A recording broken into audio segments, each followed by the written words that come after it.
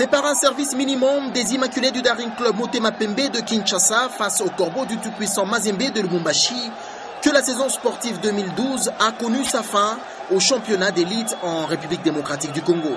Une partie véritablement disputée entre vert blanc et blanc et noir, mais sans enjeu majeur au classement final. Et c'est à la toute dernière minute de la première période que les Immaculés obtiendront l'unique occasion de scorer dans ce match sur un coup de pied de réparation consécutif à une faute de Joël Kimwaki en pleine surface de réparation.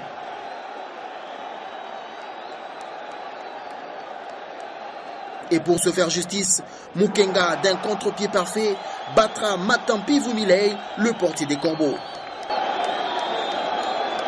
1-0, score au citron et même à la fin des 90 minutes, quoique les occasions se soient multipliées, surtout du côté des Corbeaux, pour tenter de revenir au score.